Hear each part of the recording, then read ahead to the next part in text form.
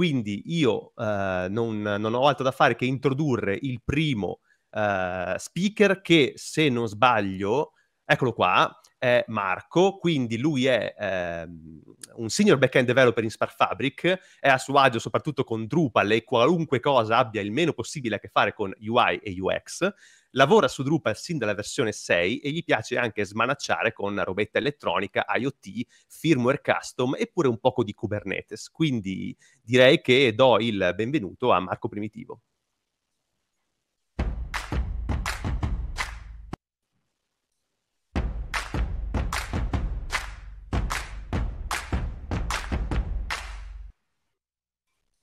Ciao. Eccoci. Ciao, ciao Marco. Vedo un, vedo ciao, un poster grazie. familiare dietro di te. Eh sì, eh. Ce ne sono due, non, anche quello di Kubernetes là.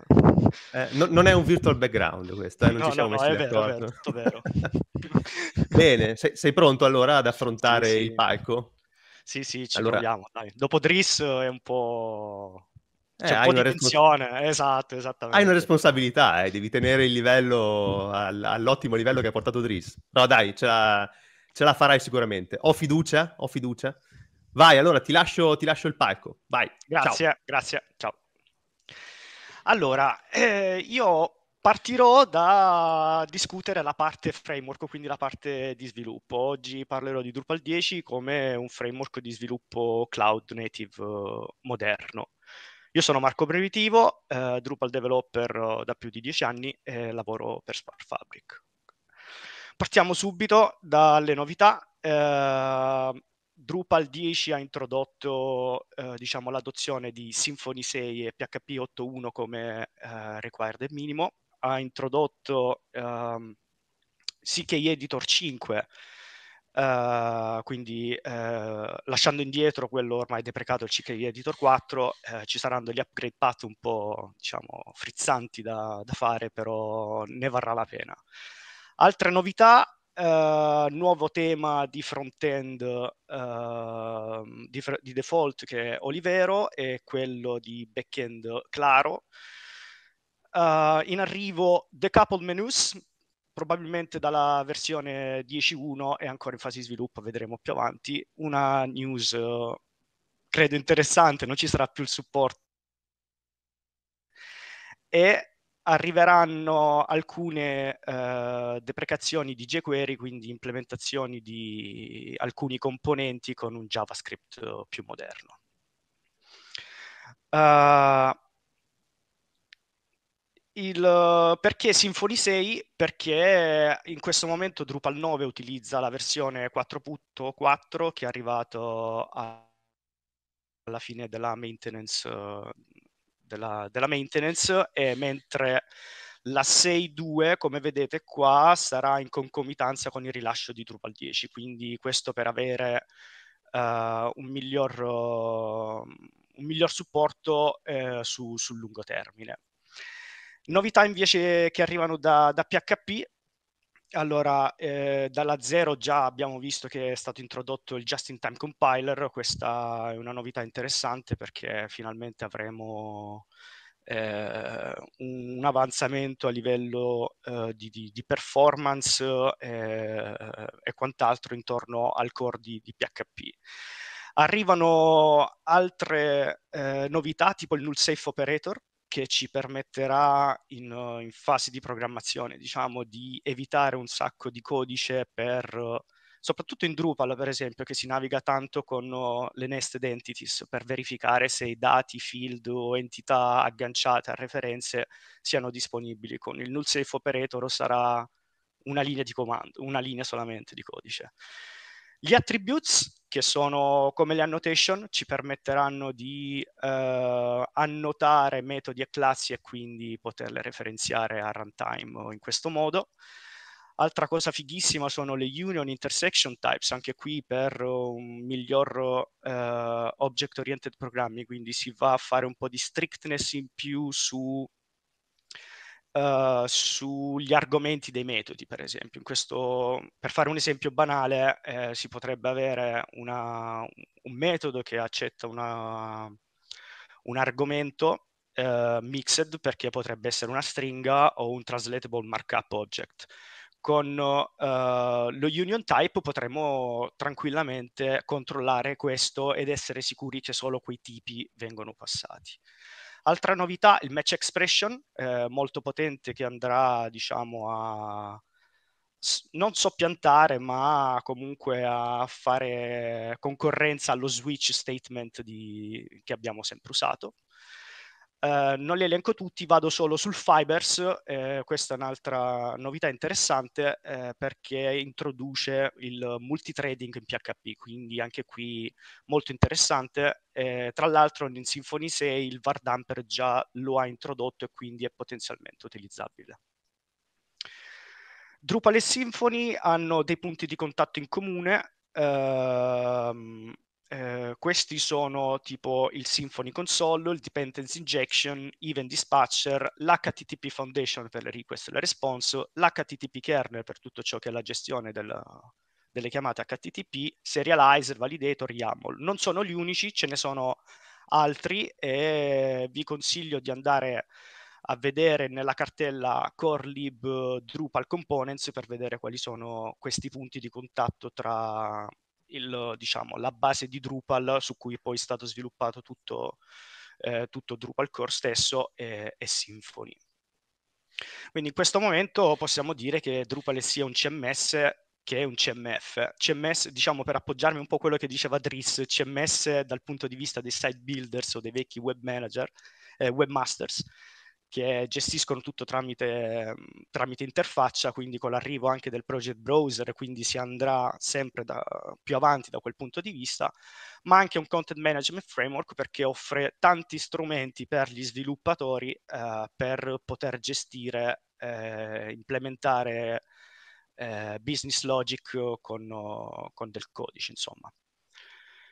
Vorrei... Um, questa è un, eh, una citazione di Driss di un po' di anni fa dove spiega che Drupal è quello che è ora non tanto per il codice ma per la sua community. La community è molto attiva, è molto eh, entusiasta eh, ed è, è, grazie a lei che eh, praticamente oggi riusciamo in qualche modo rispondere ai quattro principi della Mac Alliance come, come code base. Eh, cos'è la Mac Alliance? Mac sta per l'acronimo di Microservices API First, Cloud Native ed Headless, ed è un'alleanza di, um, in, dell'industria, diciamo, delle aziende, eh, agenzie che hanno esperienza sul campo e hanno identificato questi quattro punti chiave eh, come eh, metodologia eh, diciamo di, di, implementazione di applicativi enterprise.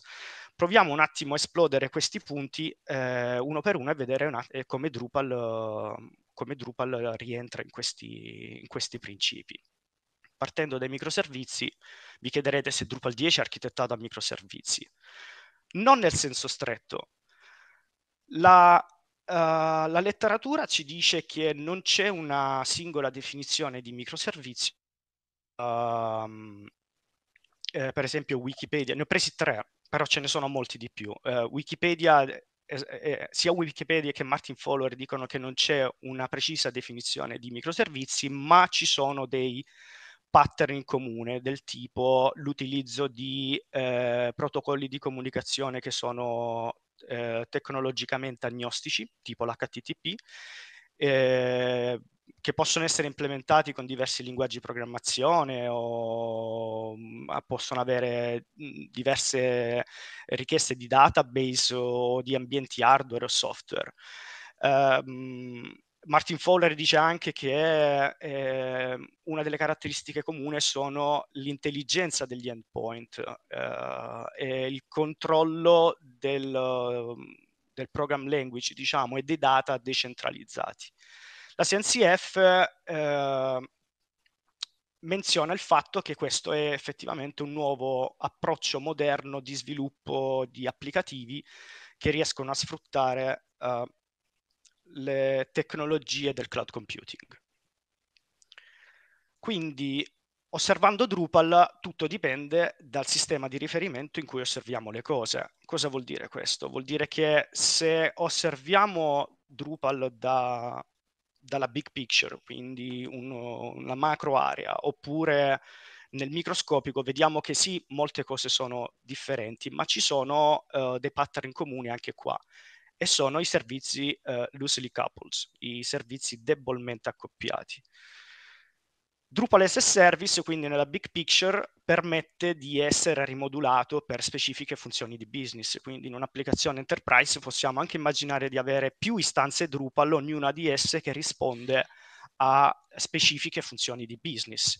Questo ci permette anche di avere una governance decentralizzata dei singoli progetti, quindi uno, eh, o un data management decentralizzato, quindi per esempio un'istanza Drupal che gestisce solo, non lo so, medias e un'altra eh, che aggrega questi media insieme ad altri dati che vengono gestiti da un editore. Um, Drupal è completamente automatizzabile a livello infrastrutturale, quindi nella CI, nella CI SD eh, ci sono tanti strumenti che vedremo anche dopo che ci permettono di fare questo e chiaramente comunica con oh, protocolli standard che sono di solito l'HTTP, ma in realtà non è l'unico, possono essere anche altri. Al microscopio invece possiamo vedere che il, il core di Drupal è estremamente modulare, ci sono servizi debolmente accoppiati eh, tramite diversi meccanismi, sia Drupal nativi ma anche ereditati da Symfony. Sfrutta il composer e quindi la semantic versioning per avere un controllo serrato su tutte le dipendenze e le estensioni che vengono aggiunte all'applicativo e in questo modo diviene facilmente estendibile per tutti questi strumenti e aggiornabile anche grazie a questi strumenti al, al composer. Ci sono rilasci di sicurezza frequenti, mm, normalmente ce n'è una settimana, credo fosse il mercoledì, ma in casi speciali vengono fatti rilasci di sicurezza anche più volte a settimana. E come menzionavo prima, la community è super attiva su iniziative, ehm, iniziative di, implementative o sulla gestione delle issue, sulla, sulla issue queue di Drupal.org. Analizzando alcuni degli strumenti messi a disposizione da Symfony e, eh, e Drupal possiamo vedere eh, per esempio il dependency injection che permette eh, di gestire tutti i servizi in modo astratto. I servizi, non mi soffermerò nel dettaglio perché qui ci potremmo fare un talk, un talk per ognuno di questi punti. Li menziono brevemente, eh, vi, vi invito veramente ad andarli ad analizzare perché sono strumenti potentissimi. I servizi, ci sono diversi servizi e tutti ciò permettono di Uh, sono, sono, definiti nel dependency injection container ehm, e permettono di essere estesi o di estendere la code base in, in, in, poco sforzo definendo nuove classi o servizi nel, uh, in un file service YAML. I plugin che vengono scoperti a runtime e permettono tramite l'annotation e permettono di soppiantare tanta roba, diciamo, l- che viene da, dalle vecchie versioni di Drupal. Per esempio, se state implementando un hook preprocess, fatevi una domanda se c'è prima un plugin che lo fa. E se non c'è, sarebbe meglio magari implementarlo e in questo vi viene aiuto per esempio il Drupal console con i suoi generate, vi permetterà di bootstrappare un nuovo plugin manager, dei plugin, annotation e quant'altro veramente con li- un, un, comando nella linea di comando. Ultimo ma non ultimo, l'event dispatcher eh, che permette di, di Uh, viene utilizzato principalmente nell'HTTP kernel stack di Drupal e serve a comunicare, a le, ad analizzare le request e a creare le responses. Tutti questi implementano dei design patterns, quelli che menzionava prima, che menzionava prima Dries. Quindi sì, in questo momento Drupal è ancora un monolite, però è un monolite estremamente modulare dal punto di vista dell'API First eh, possiamo vedere che già nel 2016 era stata lanciata un'iniziativa, API First Initiative, in questo momento è arrivata al capolinea um, ed ha prodotto già alcuni risultati che sono il REST nel core di Drupal, JSON API nel core di Drupal, GraphQL mo, eh, come modulo contrib, ma anche OpenAPI, OpenAPI come, come modulo contrib. C'è una nuova iniziativa che è nata eh, due anni fa il Decouple Menu Initiative in questo momento è ancora in fase di sviluppo e sulla issue queue si vede che è atteso dalla versione 10.1. Potrebbe slittare ancora un po' di più, però sicuramente arriverà nel core ehm, de, per, uh, in qualche release di Drupal 10. Se lo volete già provare, per Drupal 9 è disponibile come, come modulo contrib. Oh. Mi sono perso una slide. Scusate un attimo. Ho paura di aver caricato le slide scorrette.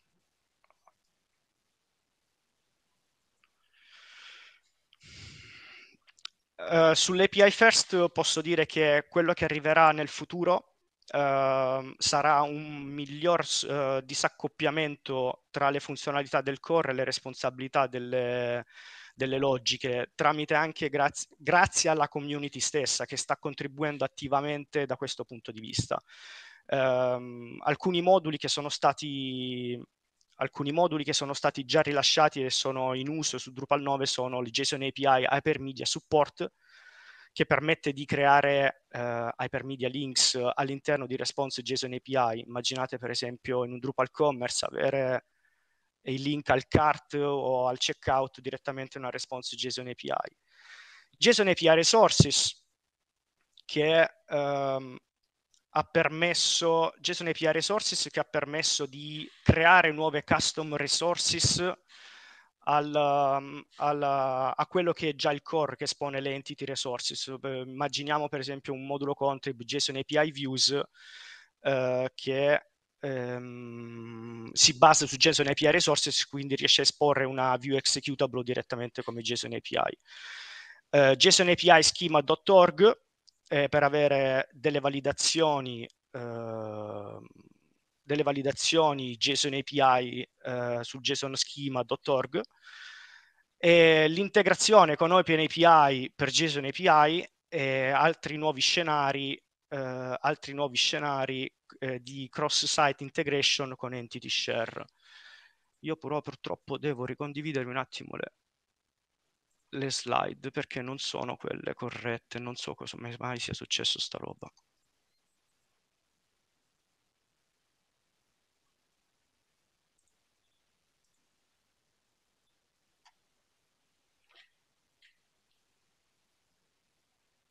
Eh, non arrivano? Continuo intanto. Um, quindi quello quello che voglio dire è che nel futuro eh, c'è molto del JSON API e JSON API perché è diventato uno standard, eh, è diventato uno standard, allora vado subito alla slide corretta, scusate veramente, non so cosa sia successo. JSON API è uno standard e ci sono molte, eh, molte librerie eh, disponibili come SDK per diversi linguaggi di programmazione. Io personalmente ho già eh, provato a utilizzarlo in uno di questi in Java ehm, e devo dire che è molto semplice integrare strumenti terze parti tramite JSON API con Drupal, ma anche eh, server side, ce ne sono tanti, tra cui PHP, quindi ehm, è, uno, è uno, uno, uno standard che sta prendendo molto piede.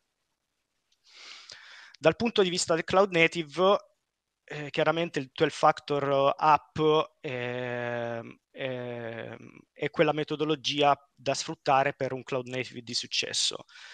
Il 12 factor app permette di, eh, dal punto di vista business, eh, permette di ridurre dei costi, eh, avere dei servizi più affidabili, eh, delle migliori performance dal proprio applicativo e nessun downtime uh, durante i deployment. Dal punto di vista tecnologico, questo ci permette di avere deploy più frequenti e più veloci anche di venerdì pomeriggio dopo le 17, senza problemi. La scalabilità con poco sforzo. Uh, non, non, c'è bisogno di accedere all'infrastruttura perché il più delle volte è tutto automatizzato, quindi avviene tutto in modo automatico a, eh, ci porta una, a una divergenza minima tra l'ambiente di sviluppo e quello di produzione e questo non è poco perché spesso provare a riprodurre bug in produzione sullo stack locale non è una cosa banale e questo approccio fa sì che i due ambienti siano molto simili. E ultimo ma non ultimo, l'onboard di nuovi sviluppatori che è minimizzato perché molte delle, molte delle procedure sono automatizzate, quindi diventa tutto trasparente e il, il nuovo sviluppatore deve solo fare focus su, su quelli che sono i suoi task e null'altro. Quindi Drupal 10 in questo momento è a misura di DevOps. Uh, grazie alla configurazione anche in codice, ha un dependency manager con, come quello di Composer, uh, offre degli strumenti a linea di comando per il controllo della, dell'istanza Drupal uh, tramite Drush, permette l'integrazione con, uh, con servizi di cloud computing tipo i bucket S3 eh, tramite il modulo S3 FS e quindi simulare il file system invece di quello locale e utilizzare un bucket permette l'integrazione con Prometheus per tutto ciò che è l'integrazione, eh, scusate, il monitoraggio del, dell'applicativo stesso. Ma è anche amico dei, devo- dei developers perché ho, ha tanti strumenti eh, tipo il DDev per il local stack per tirare su un'istanza Drupal in poco sforzo, DrupalPod per poter contribuire eh, facilmente a delle issue su, su Drupal.org eh, ci sono strumenti tipo Minio per simulare i packet in locale, Monolog per tutto ciò che è il, la gestione dei logging. Eh, questo strumento è molto potente perché per, vi permette di raffinare eh, i livelli e i tipi di loggate tra i vari ambienti anche. Web Profiler eh, ottimo modulo per tutto ciò che è il debugging, eh, la profilazione anche locale per vedere le vostre pagine appena create, come rispondono ai tempi, le query, caching e quant'altro.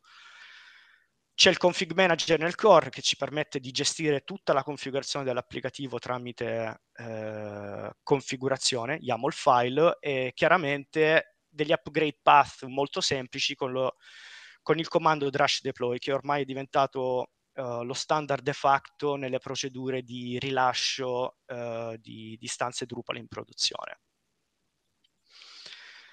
Dal punto di vista headless, i vantaggi eh, che menzionava anche Driss prima è avere un front-end completamente disaccoppiato dal, banche- dal back-end, ma anche avere un, un modello omnichannel. Che vuol dire? Vuol dire che l'istanza Drupal diventerebbe la single source of truth e quindi l'unica fonte di verità e, e su quella sviluppare poi tutti gli altri eh, applicativi di rendering, siano esso eh, il website o un applicativo mobile o piuttosto altre integrazioni con chat o quant'altro.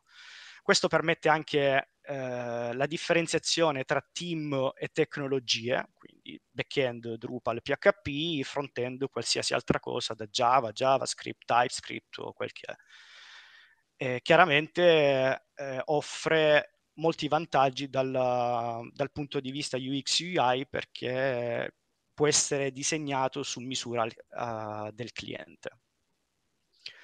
Alcune soluzioni che abbiamo già disponibili con e per Drupal sono menzionate anche prima, il REST nel core, JSON API nel core, GraphQL come country module, ma probabilmente un giorno arriverà anche lui nel core di Drupal, una libreria esterna eh, su Next.js, Next.js per Drupal, questa è molto figa perché permette di integrare con poco sforzo eh, Next.js con Drupal e JSON API. Un esempio uh, un esempio di, di, eh, differenza tra REST e JSON, uh, tipo una response REST e risponde su una canonical URL di Drupal. In questo, mo- in questo caso è comandata, essendo una um, entity resource questa, risponde con un query parameter format JSON, ma potrebbe essere anche un XML o qualsiasi altro serializer voi vogliate. Questo è un esempio tipico. JSON API invece ha su- i suoi endpoint rispetta lo standard JSON API e lavora soprattutto con gli UID. Un esempio di eh, Next.js for Drupal, questa è per esempio eh, la creazione del, del, client, del client con Drupal, semplice, molto semplice, è il fetch di uno dei nodi o la creazione di uno dei nodi. Quindi veramente più semplice di così non so cosa si, pot- si potrebbe fare.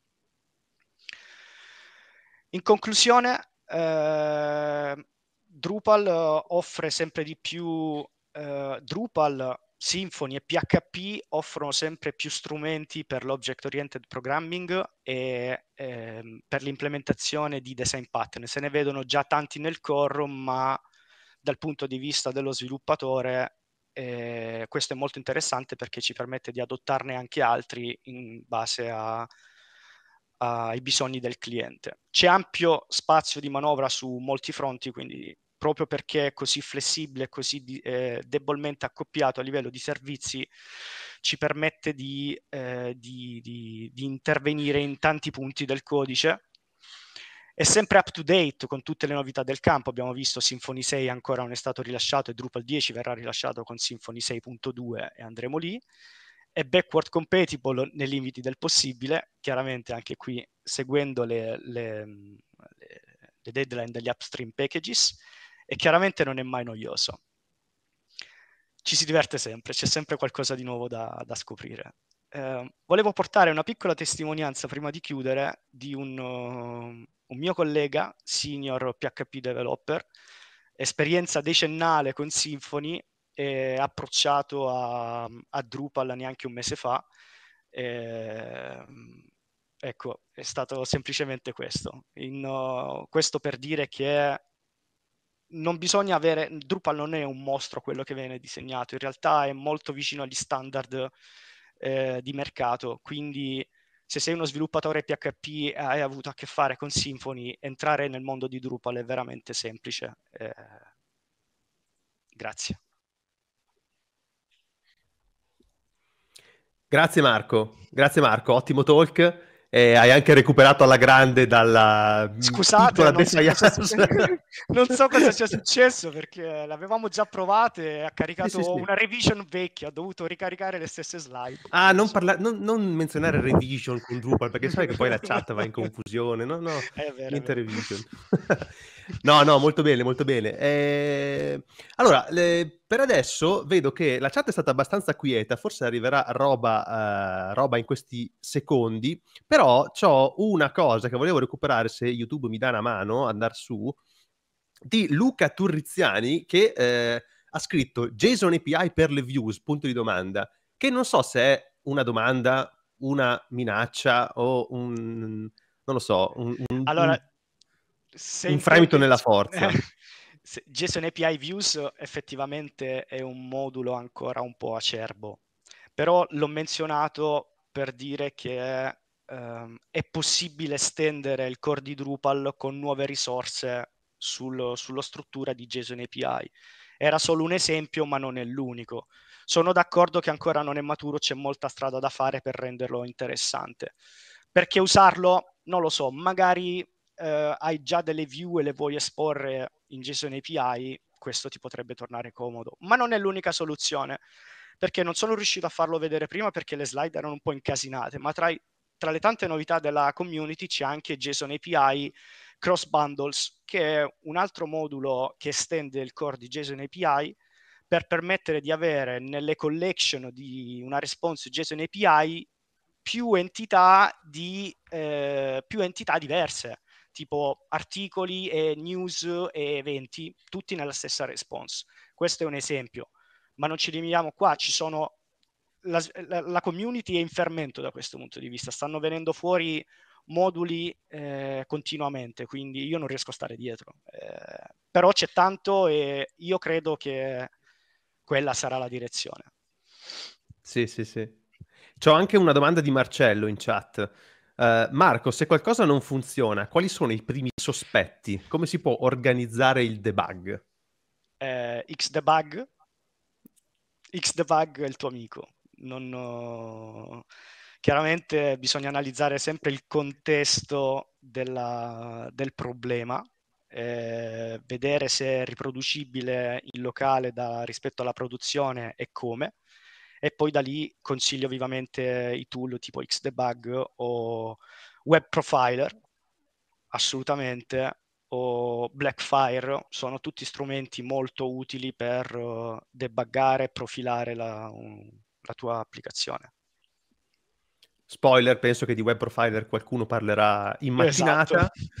E ce n'ho una da Paolo che chiede: c'è un motivo tecnico per cui PHP 8.1 è un requirement per Drupal 10? Quali vantaggi ne otteniamo?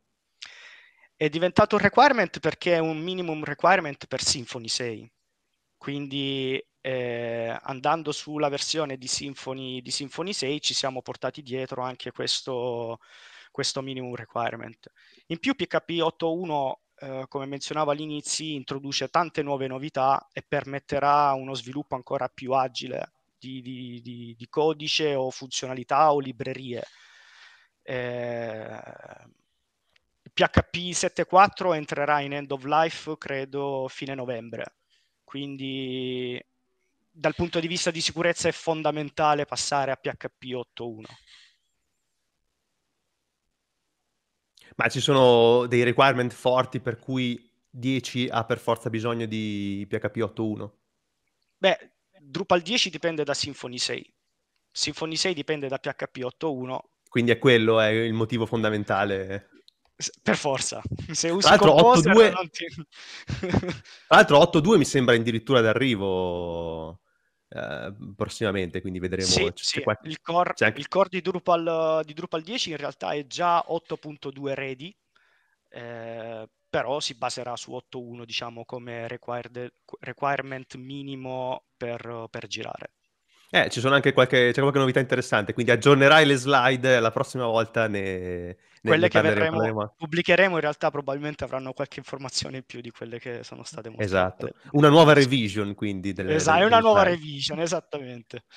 Senti, intanto la chat si è animata un po', c'è Italo Mairo che oltre a, oltre a essere anche lui speaker stamattina, eh, segue con piacere e, e fa domande, quindi ti giro la sua, parla di Olivero e dice Olivero non sembra supportare il subtheming.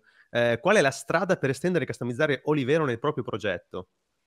Tra l'altro, Marco, parliamo di theming, eh, quindi una roba... Esatto, già siamo fuori dal mio... Siamo fuori scopo, Italo. Zone, esatto, siamo proprio fuori. No domande teaming a Marco, per favore. Allora, so che è stato introdotto, da Drupal 10 verrà introdotto lo, lo start, il Theme Starter Kit onesto, proprio onestissimo, non so come funzioni, sarebbe interessante che qualcuno porti un talk, così imparo qualcosa anch'io. Però più di questo non ti so dire, mi dispiace. Vabbè, Italo, eh, fatti, fatti, bastare questa, eh, una prossima volta, anzi questo è un invito per tutti quelli che eh, ne sanno di più e vogliono provare a parlare, a portare magari un talk su, sul theming di Drupal, quindi eh, i prossimi meetup o, la prossima, o magari la prossima conferenza Drupal, mandate proposte vedete, perché... C'è sempre da imparare, io sono sempre eh, propenso a imparare nuove cose. Esatto, esatto. Eh, altra domanda, Santo Caruso, eh, quali sono le soluzioni integrate per il workflow dei contenuti? Allora, nel core di Drupal abbiamo già il content moderation, che permette di gestire la, i vari stati di workflow di una entità. Il, ci sono moduli contrib che permettono l'estensione di questo eh, per avere tipo eh, funzionalità in più eh, intorno a, al, al, workflow, cioè workbench access, workbench come, ehm, come modulo per avere una, una dashboard però content moderation è già nel core e offre un sacco di servizi, eh, servizi intesi come quelli che spiegavo prima, eh, per poter controllare la, gli stati di moderazione.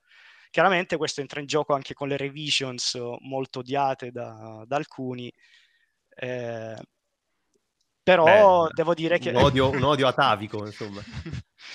però diciamo che comunque ci sono già gli strumenti per poter gestire ehm, il, la content moderation in, su, su, Drupal, su, Drupal, già da Drupal 8 in realtà. Sì, sì, sì. E, senti, visto che hai citato Symfony, che poi sarà anche Marco che, aveva, no? che, che è arrivato su Drupal, è atterrato placidamente su Drupal grazie proprio al materasso Symfony che è, ha permesso a tanti nuovi sviluppatori di arrivare eh, su, su CMS. Allora, secondo te, per uno sviluppatore Symfony, anzi da sviluppatore Symfony, quali sono, quali, quali posso, che concetti posso riusare di quelli che già conosco?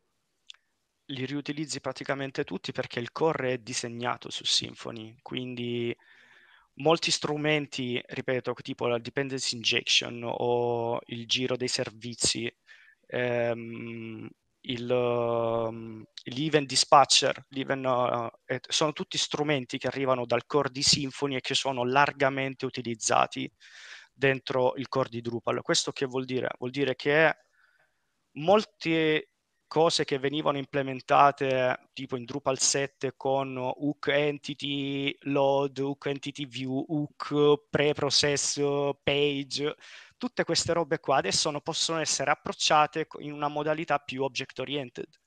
Quindi implementando del eh, event subscribers, per esempio, implementando nuovi plugin ehm, creando nuovi servizi che vengono poi stanziati da altre classi, il routing, tutto il routing viene da, da, da Symfony, quindi ci sono tanti, tanti, tanti strumenti utilizzati nel core che sono stati proprio presi da Symfony e riadattati per Drupal, ma non cambia molto. Quindi se sei uno sviluppatore che ha lavorato con Symfony, in un mese sei up and running con Drupal senza grossi problemi. È super tranquillo. Sì, Ma sì, e... e io posso portarmi dei componenti Symfony direttamente su Drupal? Sono comunque componenti PHP, quindi assolutamente sì, puoi sfruttare il composer da questo punto di vista, li tiri dentro come dipendenze e li sfrutti a tuo piacimento in un modulo, in un modulo custom o se hai un modulo tuo contrib dipende, diventa, diventa, una dipendenza di quel modulo e quindi quando viene installato col composer automaticamente si scarica questa dipendenza e sfruttare compo- altri componenti di Symfony nel, nel core di Drupal. Sì. Sì, sì, quindi hai, non, non, hai un minimo di adattamento da fare ma praticamente sono pronti all'uso. Sì, sì, sì, sì, sei liberissimo, hai tutti gli strumenti che utilizzavi, in più no, alcuni nuovi concetti eh, tipo la drush, il drush command, no? ci sono i vari drush command che sono un wrapper sulla Symfony console, eh, un po' più artigianale diciamo, c'è la Drupal console che è proprio su Symfony console, eh, però anche qui eh, i comandi lì vengono implementati e sfruttati utilizzando subscribers e quant'altro. Eh, hai tutto, tutto, tutti gli strumenti che hai in Symfony te li riporti su Drupal. Quindi non sarai spaesato. Se fosse stato un Symfony developer che arrivava su Drupal 7, ti direi sì, non è facile, perché ci sono molti concetti che sono proprio Drupalismi, no? Ma da Drupal 8 in poi è diventato più semplice e lo diventerà ancora di più perché uno dei focus di, de, della community di Drupal è snellire il core. Ce lo siamo persi nelle slide purtroppo, però quello che sta avvenendo è che eh, molte funzionalità che adesso sono embeddate nel core stanno diventando dei moduli contrib. Per esempio, MySQL era un driver specifico impiantato nel core di Drupal a partire dalla versione 9.3 o 9.4, credo la 9.4, è diventato un modulo del core di Drupal, quindi è stata tolta tutta quella funzionalità, sono rimaste solamente eh, le interfacce e le abstract class di implementative eh, per, per, per, far girare MySQL o qualsiasi altro. Altra cosa, ne hanno deprecati altri, quindi alcuni moduli che erano nel core di Drupal adesso verranno tirati fuori e buttati dentro la community. Quindi si sta snellendo il core per diventare proprio qualcosa che è un vero framework, sì, semplice, funzionale che offre tutti gli strumenti a uno sviluppatore per uh, integrarsi, uh, integrarsi con Drupal. Che tra l'altro, tra l'altro, è una tendenza, forse mi ricordo male, ma è una tendenza inversa a quella che c'era un botto di anni fa quando molti chiedevano di integrare più componenti nel core. Adesso, Adesso invece, invece te... esatto, di, al massimo diventeranno dei moduli nella distribuzione del core perché tu hai il core di Drupal e poi c'è una lista di moduli. Node, per esempio, o user sono moduli di, di, di Drupal. Certo. Tutti questi sono diventati moduli, ma tu non sei bloccato, diciamo, a prendere quello. Puoi anche creartene uno nuovo, no?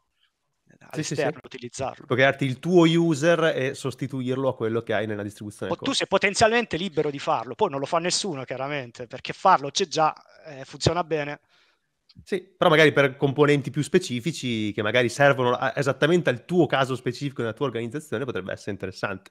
Ti giro anche una domanda di Marco Fadda, visto che l'hai citato nelle slide, giustamente si rifà su di te facendoti una domanda in chat e parla sempre del workflow di pubblicazione che evidentemente ha colpito. Eh, il workflow di pubblicazione di Drupal riprende il workflows and state machines di Symfony?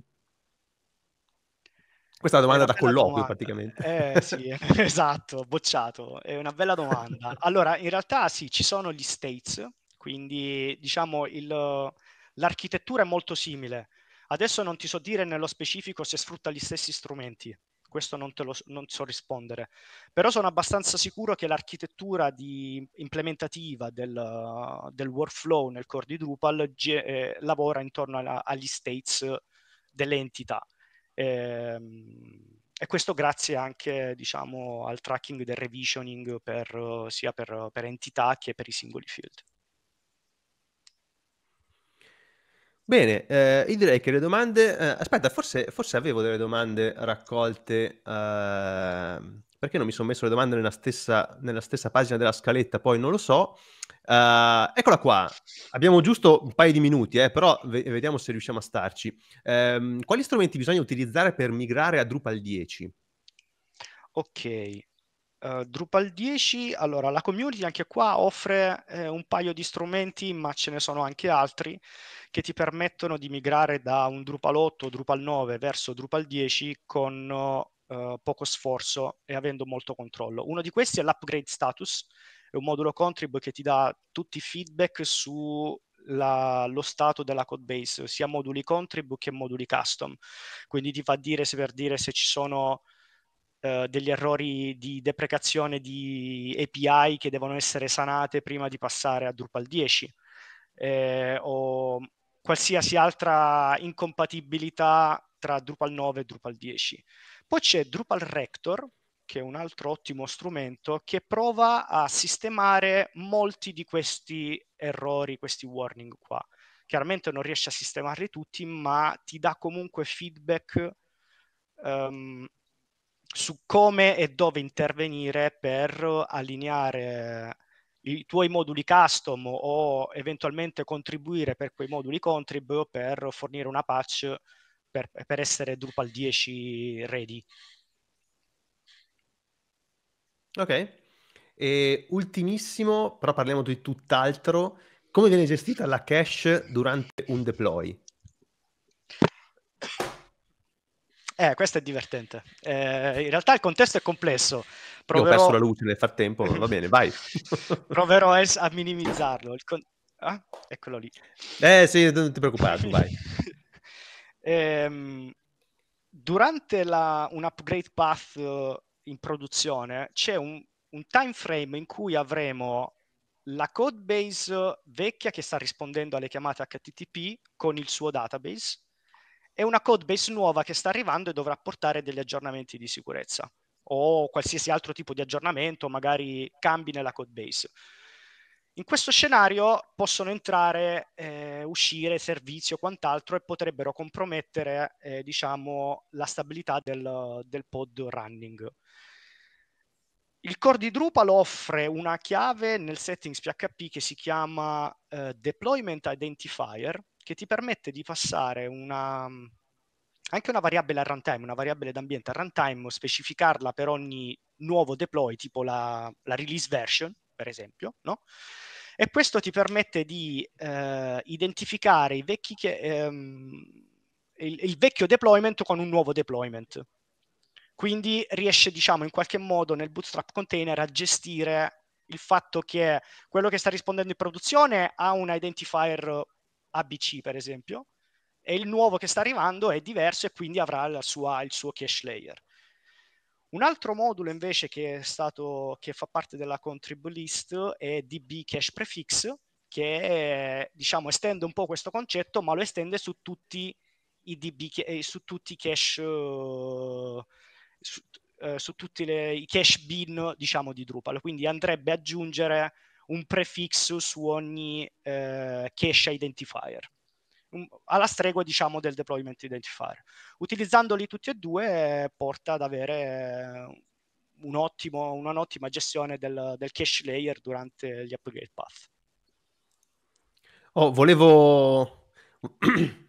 Scusate, volevo mollarti completamente, però eh, c'è Paolo che ancora disturba in chat e, e ti, vuole, ti, vuole, per forza fare una domanda per i designer, visto che abbiamo questi designer che vogliono... Ma perché ce l'avete con me oggi? Non lo so, non lo so, ma però non si parla di UI, eh? cioè si parla ah, okay. di CK Editor, CK Editor 5. Cioè, quali sono i vantaggi di CK Editor 5 per gli editor in Drupal 10? È, è stato completamente riscritto tutto CK Editor 4 e CK Editor 5 sono completamente differenti. La versione 4, per esempio, sfruttava il DOM HTML embeddato all'interno per poter parsare e creare tutti gli effetti. CK Editor 5 invece ha un, una sua syntax, quindi questo ha permesso di eh, creare nuove funzionalità, eh, per esempio l'inline editing eh, su, su, nel WYSIWYG e tante altre funzionalità, l'embedding di media, images, un sacco di roba nuova. Però diciamo a livello di core è cambiato tantissimo e, e bisognerà, stare, bisognerà fare attenzione sull'upgrade path per passare dal 4 al 5 perché chiaramente il contenuto è diverso eh, deve essere in qualche modo riadattato. Ci sono già degli upgrade path della community, molti, ma non sono completi, alcuni passi vanno fatti comunque manualmente e c'è un'ottima documentazione online da seguire. Dai, eh, grazie Marco. Senti, siamo perfettamente in orario, quindi direi che eh, adesso, adesso, ci salutiamo. Prima però una cosa, Marco, la pronuncia del cognome di Dries? Betart. Mamma mia, che splendore. Credo, grazie eh. Marco, ciao, alla prossima. Grazie a tutti, ciao, ciao, ciao, ciao.